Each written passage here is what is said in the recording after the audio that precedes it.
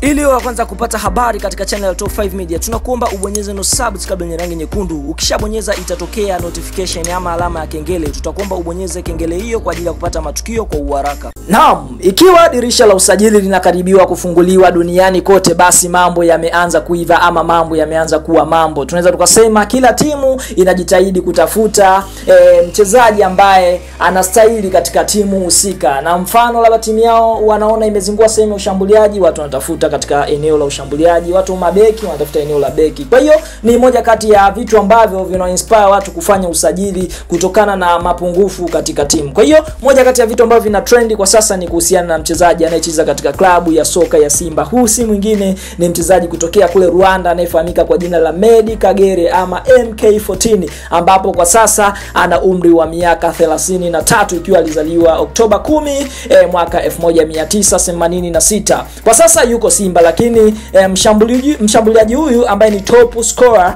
ambaye anacheza ligi kuu nchini Tanzania, ifahamike kwa sasa ni mmoja kati ya wachezaji ambao wanawindwa sana na klabu ya soka ya Levante ya kule nchini Hispania.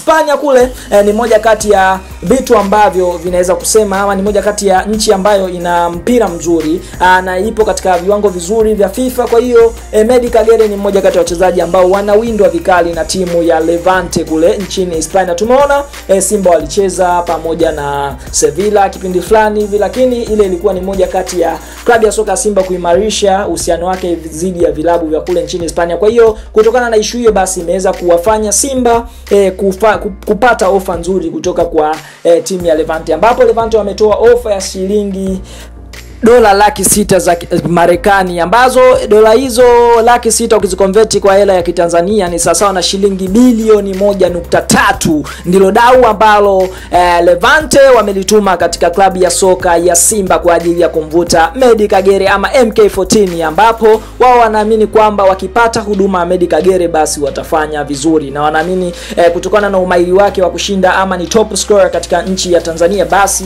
akifika kule akikutana na viungo wao maalum ama viungo wao wazuri, basi ataweza kushinda magoli mengi zaidi ya haya aliyokuwepo katika klabu ya soka ya Simba ambayo anashinda. Kwa hiyo eh, kutokana na ishu hiyo basi tumemuona Medi Kagere kwa sasa amekuwa ni lulu, na ukiangalia timu ya soka ya Simba kwa sasa inatafuta mbadala wa Medi Kagere. Eh, inasemekana kwamba moja kati ya rada za Simba kwa sasa ni Justin Shonga ambaye anacheza katika ligi kuu nchini eh, kule South Africa katika klabu ya Orlando Pirates. Ukiachana na eh, Justin Shonga ambaye ni Mzambia huyu, tumeona Simba wanamtaka Mpiana Mozizi ambaye naye pia ni mmoja kati ya wachezaji ambao wanacheza ligi kubwa kule eh, nchini eh, Iraq. Lakini ukiachana na huyo Mpiana Mozizi, tumeona Simba bado wakijitahidi kutafuta eh, wachezaji wengine. Tumeona kwamba kuna wachezaji wengine wanatafutwa sana na klabu ya soka Simba kwa upande wa mastreka, na moja kati ya vitu ambavyo Simba wavitaka kuvifanya kwa sasa ni kuhakikisha timu yao inacheza vizuri ligi ya mabingwa kwa mwaka 2020 2021 wakiwa wana safu nzuri ya ushambuliaji